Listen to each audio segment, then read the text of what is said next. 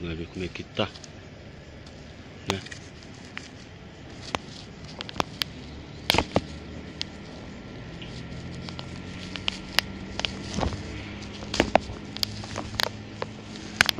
Olha lá, gente, ó.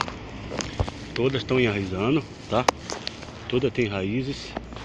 É só a gente esperar que vai chegar a hora do nosso trabalho se desenvolver melhor, né? Não adianta nós ter pressa, que com certeza a gente vai ter um bom resultado. Tá vendo aí as aporquias? Quantas aporquias você pode fazer no pé de jabuticaba?